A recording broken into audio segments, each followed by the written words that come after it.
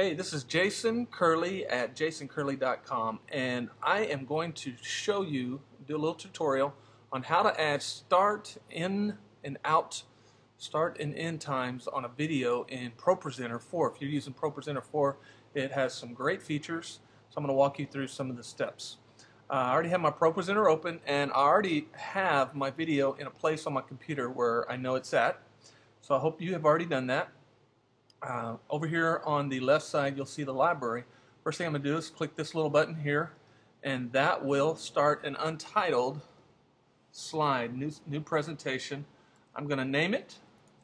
Obviously I'm going to name it uh, pretty much what the video message is called and also I like to, uh, you can see it'll start sorting them pretty quick.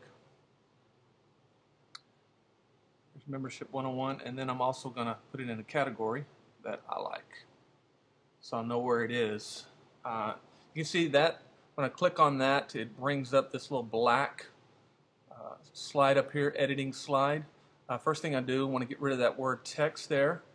And so I will click edit and then I'll click anywhere out in the black area. That'll bring that text box up, box up and I will hit delete on my keyboard and hit done. Uh, next step I will do is I will right click. That gives me uh, ability to do some different features. Uh, I'm going to add a media cue and since I know where my video is I'm going to go straight to it where I stored it and there it is right there and I will hit open. You'll see that this is a video. Uh, it's 38 minutes long uh, because it's the message for this weekend and it added a little icon right above it that lets me know there's something on there. Uh, next thing I'm going to do is I'm going to right click back on that media cue properties again and here it will bring up my media kind of inspector. Well, one of the things I can do is I can add a little volume if, if my audio's down. Uh, over here on the scale behavior on my screen I can stretch it to fill, scale to fill. Uh, also if I needed to speed it up I wouldn't re recommend that on a preaching video, uh, but if you had just like an animated video, you could speed it up. You could also change uh, color and all that. But we're going to do some start and stop times. And so I can take my slide probably about to where I think it's going to be starting. And I will click play. And let's say I wanted to start it right there. You can see I'm at 244 and I may watch it a couple of times. Uh, but if I'm happy with that particular place, then I will hit the end button and that will tell the computer, the program, ProPresenter 4, that I want it to come in at that time.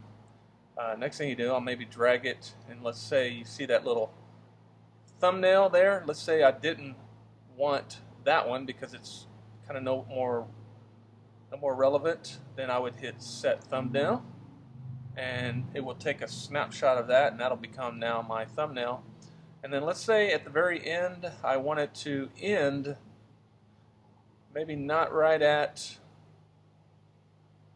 the very end, but pretty close. So then I'll play and listen. Okay, let's say I want it to stop right after Pastor Bill Cornelius says amen. And I will hit out. Now I've started it. It's going to come in at this time, going to go out at that time. Then all I have to do is hit my little X there because it's already set up. That will save it right there and just to test drive it, I click start. Welcome, how are you?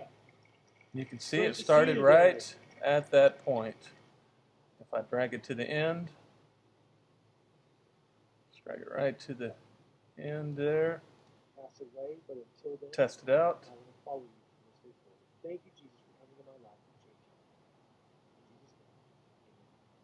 And sure enough, it stopped right where I wanted it to.